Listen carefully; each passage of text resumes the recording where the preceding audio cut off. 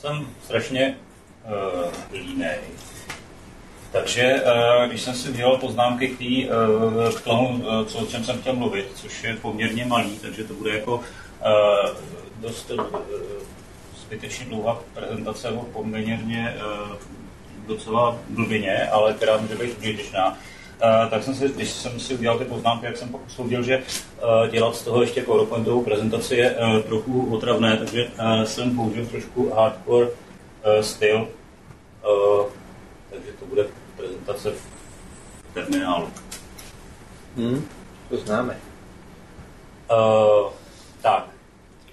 Uh, Vyšli jsme to s Officem, myslím, že pak jsme to, chvíli jsme to zkoušeli, pak jsme to nenasadili, protože se ukázalo, že uh, duplicity se dá, nebo spíš Jirkaráž zjistil, že duplicity se dá teda nakonec jako uh, přesvědčit, aby když se rozhodí inkrementální zálohy jednotlivých částí systému nějak na, na, na, na celý týden, takže se to dá ustát. Prostě měli jsme s Officem ten problém, že zálohování Officeu, plná záloha trvala déle než den. Což už začíná být jako trošku problém, protože to prostě vytíží tu mašinu během běžných hodin, kdy používají uživatelé a tak. Uh, nicméně jeden z nápadů, který se mi osvědčil, osvědčil se mi třeba na jiný data, byl právě tenhle. Uh, premisy. Uh, když vysynkujete, když pustíte AirSync uh, z jednoho stromu do druhého stromu, třeba i do vzdáleného stromu samozřejmě, jo, na, uh, přes SSH třeba, nebo, nebo nedej bože přes uh, AirSync server, což není asi úplně dobrý nápad, uh, tak uh, cokoliv novýho AirSync zapisuje, když zapisuje nový soubor, tak přestože v tom souboru se změnilo něco malého jenom, uh, tak on celý ten soubor veme a vytvoří ho nově. Což je nepříjemný překvapení, když AirSyncuješ něco velkého. Uh, může být nepříjemný překvapení, uh, tady toho využívám. jo? Uh, nicméně je to zdokumentované chování a lze ho změnit.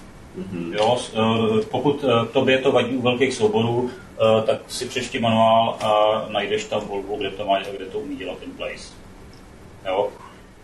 Nicméně tady já využívám toho, že on nikdy že, že nemění defaultu ty, ty původní soubory. Mm-hmm. A CP minus R je rekurzivní, nevím vlastně, jestli se napsal dobrý R, není to velký R. Myslím, že mají Velký podle mě nemá. No to je u různých příkazů různě. Blbě. No. Jo. Uch, modu je velký, dobrý. Je velký. Eh, takže to je rekurzivní a L je, že nekopíruje data, ale vytváří jenom hardlinky. Takže když uděláte rekurzivní kopii stromu, eh, tak on vlastně nekopíruje vůbec data, jenom vytvoří novou hromadu eh, adresářů a pak hromadu nových hardlinků na ty původní data. Jo. Což už možná tušíte, kam mířím. Eh, První záloha. Mám nějaký data na zálohování, adresář data, v něm je první, druhý, třetí soubor a v, v nich jsou nějaký podílní data. Uh, teď teda udělám mersing, může to být samozřejmě i na vzdálený stroj. Do adresáře backup, backup Mon- Monday, udělal jsem to jednoduchost, jakože za prostě jeden den, další den a tak. Takže backup Monday, takže na tom vzdáleném serveru budu mít vlastně to tež, jo, kopii toho samého adresáře s těma, s těma samými datama. Jo, žádná, zatím žádná magie. Druhá záloha. Na té vzdálené straně si to nejdřív připravím a udělám cp-rl z toho backupu Monday do nového adresáře do toho úterního. To znamená, udělám si jakoby uh, kopii té pondělní zálohy do úterní zálohy. Jo? Dochází, no. Jo? Uh, a protože mu řeknu L, tak on udělá jenom linky. To znamená, že dobře, není to úplně levná operace v okamžiku, kdy je to velký strom, ale je to o několik řádů levnější operace, uh, než kopírovat celý data samozřejmě. A v okamžiku, kdy, uh, to znamená, že vlastně já mám pak dva stromy, kde v obou je spousta adresářů, ale ty soubory, které tam na koncích jsou, tak jsou linky na jedny data. A když pak dělám tu zálohu, tak uh, udělám zase ten samý AirSync, ale do té úterní zálohy, prostě zálohy úterý, takže v pohodě. A, ale AirSync už má k dispozici vlastně ty data v tom cíli. takže přenáší jenom ten rozdíl, jenom to, co se změnilo. A ještě navíc, protože nikdy nepřepisuje ty původní data, tak on vlastně tam, kde se něco změnilo, tak tam zahodí ten původný původní link a vytvoří tam ten nový soubor. Což znamená, že v tom novém adresáři najednou, jo, v tom backup, uh, jsem udělal chybu, tam mělo být to Tuesday, uh, backup Tuesday, uh, tak ten první a třetí soubor, pokud se druhý změnil, tak jsou ty pondělní data, ale furt jsou jenom link na ty samé data, které už tam jsou. Ty data nejsou na tom file systému dvakrát. A jsou tam jako nový data jenom ty úterní. Můžu mi dotaz? No, Když přijdu o pondělní data, tak jsem přišel o všechno data ve všech dnech? Uh, ne, protože to jsou linky. Jestli uh, linky na Unixu fungují tak, že uh, soft link funguje tak, To ten vím, no, tak když tak mě řekni ten hardlink asi očividně, teda ten nevím. Ale, eh, já, já to říkám obojí, Jo, protože sorry, je to důležitý, důležitý pro porovnání. A já, já, to, já to vždycky říkám na, na příkladu, že máš barák se spoustou dveří. Máš místnost a v ní máš nějaké věci. A pak máš druhou místnost, kde jsou dveře, ale tam přijdeš a na těch dveřích je lísteček a, a na tom lístečku je napsáno běž jinam, běž tamhle do té místnosti, to je softlink. Jo? Zatímco v Linuxu nebo, nebo v Unixu, uh, teda Symlink, jo, jasně. Uh, v Unixu hardlink jsou dvoje dveře do stejné místnosti. O, rozumím, rozumím. Jo? Čili uh, v podstatě vznikne jenom ta datová struktura, jenom ten, ten inode, který popisuje, uh, uh, který popisuje, k- uh, kde jsou ty data, který, říky, který popisuje to jméno toho souboru, ale ukazuje na stejný data. To znamená, když se podíváš na ten soubor statem, tak on ti řekne, jo, tenhle soubor má, má dva hardlinky. Jo? V okamžiku, kdy kterýkoliv z těch hardlinků smažeš, uh, tak uh, se stane to, že ano, ten hardlink jeden se smaže, ale ten druhý tam furt zůstane. Jo? To je prostě ten label tam zůstane, takže on nemůže smazat ty data. Jasně. Jo? Mimochodem, to, zmíním to tam o kus dál. Jo, díky. Uh, jo, vidím, že to tady zmiňuju zrovna tady. Jo?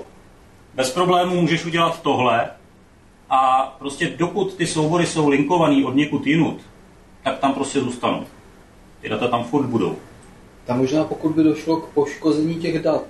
Ano, přesně tak, průšvih, přesně tak, přesně tak. Ale to je, to je vlastnost a to tady taky říkám. Uh, výhody. AirSync přenáší jenom změny, to znamená po té síti jdou fakt jenom změny, což v případě třeba velkého serveru, kde je spousta dat, ale mění se tam jako přes den nějaký jenom malý procento souborů proti tomu zbytku, tak samozřejmě to je, to je bonus, to je super. Uh, v cíli je ale tolik snapshotů toho stromu, kolik, kolik jsme udělali záloh. To znamená, fakt těch stromů může mít člověk nasekaných, kolik chce a v každém tom stromu bude proti předchozímu stromu budou jenom změ, ty změněné soubory, ale na disku jako to, co tam je jenom jednou, tak tam bude jenom jednou. Jo? To říkám uh, poor man's snapshotting. Jo? To znamená, na úrovni souboru je duplikovaný a běžnýma nástrojema prostě se začnete se na ten server, vlezete do toho adresáře a máte tam prostě přesnou kopii toho, eh, těch dat, tak jak byly na tom původním serveru. Není potřeba nic rozbalovat, jo, nic tím dělat, prostě jenom tam vlezu a mám tam přesně ten strom, který, který jsem zálohoval. Když udělá www-rf kterýhokoliv toho adresáře, ostatním adresářům se nic nestane, vzhledem k tomu, jak fungují linky. Jo. A Kterýkoliv z těch stromů se může pak vzít a zabalit třeba na další archivní zálohovadlo, pokud ty zálohy chcete mít fakt dlouhodobý a, a nějakým způsobem to, to takhle zpracovávat. Nevýhody. Deduplikace je jenom mezi předchozí a následující verzí. Jo, není to jako BTRFS nebo nějaký uh, uh, funkce nad nějakýma pokročilýma file systémama, které jsou schopný deduplikovat uh, v rámci bloků prostě data, které jsou na, na disku čtyřikrát v úplně různých souborech a podobně.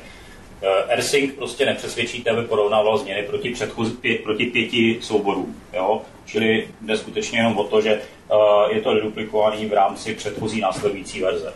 To znamená, když se, když se to změní uh, v jedné verzi, nebo máte v jedné data, v jedné verzi data, v druhé se to změní a ve třetí se to změní na původní, tak to, tak to už deduplikovaný samozřejmě nebude. Jo? Na druhou stranu to je asi událost, která se nestává zrovna často. Uh, data v cíli jsou samozřejmě nešifrovaný, nekomprimovaný, to znamená, předpokládá se, že tu, tu, ta mašina, na kterou zálohujete, tak je pod vaší zprávou. Jo? To může být samozřejmě nevýhoda potom, když to chcete mít bezpečný ty zálohy a neměl by se k tomu dostat někdo další. Uh, na úrovni souboru dedukovaná data uvádět i jako nevýhodu, protože to sebou nese právě to, že když se poškodí data, jo, když jednou přijdete o ty data na tom disku, poškodí se, uh, poškodí se pár sektorů na disku, tak prostě přijdete o ty data ve všech těch zálohách, protože jsou tam skutečně jenom jednou. Jo. Uh, proto píšu, nebo proto říkám, je možný, že budete potřebovat ještě další úroveň archivace. Uh, nicméně, uh, čemu je to užitečný, když prostě zálohujete data na nějaký svůj domácí NAS nebo něco takového a zálohujete něco, co, kde, kam jenom občas nahrajete nový film nebo pár nových MP3, tak tohle je přesně ten případ, který může být docela, docela zbytečný. No a nebo pak jako uh, jsme o tom, uh, nebo jako jsme to zkoušeli my, zálohu velkého serveru, který mu ale chcete odlehčit, protože ten server pak v podstatě spustíte ten AirSync, ten na opravdu velkém serveru poběží třeba 10 minut jo, a je pro ten server je vymalováno. Jo. A když pak máte ten druhý server, který se stará o to zálohování, tak ten pak může, může promazávat, může uh, zatarovat zálohy a odeslat je na datový úložiště třeba a podobně. Ale samozřejmě znamená to pak jako dedikovat, jako dedikovaný server na to zálohování. Uh, a to je vlastně asi všechno. Teď můžu dát to kafe. Tak k tomu chci říct, že teoreticky, když budu mít na tom uh, zálohovacím serveru nějaký komprimovaný file, systém, což umí uh, třeba nový Razer uh, nebo, nebo něco takového, stejně tak šifrování, tak teoreticky jako, sice to nebude úplně jako klasická šifrovaná záloha a, a komprimovaná, ale, ale furt, furt Ano, jako ano. se tomu přiblížím aspoň. Je to tak, je to tak. Dá se to doplnit dalšíma nástrojema. Dá se to doplnit i třeba reverzním ensfusu, kdy vlastně budete mít uh, namontěný ensfus od někud a tam budete ersincovat ty data. Protože když správně nastavíte eh, ensfus, tak ensfus je schopný uh, poznávat linky. V defaultu je to vypnutý, ale je schopný poznávat linky a je schopný potom jako někde vzdáleně jako s těma linkama pracovat. Jo? Sám bych to asi nepoužil, řekl bych, že je to takový jako trochu nebezpečný řešení, ale dalo by se. Dají se jako vrstvit různé věci. Dělali jste nějaký statistiky, Office běží na Mailviru, že jo? No. Tak dělali jste statistiky, kolik jako to ušetřilo? Nebo jak moc, jako ona ta pošta se asi nemění, že jo? Lidem to padá někam, tam to zahnívá, týdny, měsíce. Přesně tak. Popravdě řečeno, popravdě řečeno uh, já nevím, uh, už, už je to díl, co, co jsme si s tím hráli. Nicméně, z čeho by se to dalo odhadnout? Možná z toho, dokázal bys odhadnout, jak velký jsou inkrementy proti, proti plní? Nebo poměrově, nevíš. Hm, No, nevím.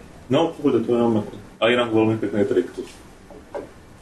Ale faktem je, že když třeba připravujeme uh, Office na, na nějaký akce, na nějaký překlápění nebo na něco jiného, takže člověk si prostě airsyncuje několik dní dopředu a pak uh, pouští jenom ten airsync na, na tu vzdálenou stranu, který, uh, já nevím, kolik to trvá, 10 minut. Někdy. teď se ten AirSync vlastně spouští každou hodinu, kdy se vlastně synchronizuje s tou záložní mašinou, která je prostě připravená, když tohle kiksne, totálně to schoří, tak může okamžitě najet a když se to spouští každou hodinu, tak ten AirSync trvá zhruba nějakých 10 až 20 minut, záleží to většinou jako 20 minut to trvá v tu pracovní dobu, potom v obědě, kdy ty lidi houfně píšou maily, tak je tam toho hodně změn, tak to trvá o trošku díl, a jinak jinak je to kolem 10 minut. Kolik má Což Office je- úložiště teda pro poštu? No, je tam hodně, se- tam je víc ještě.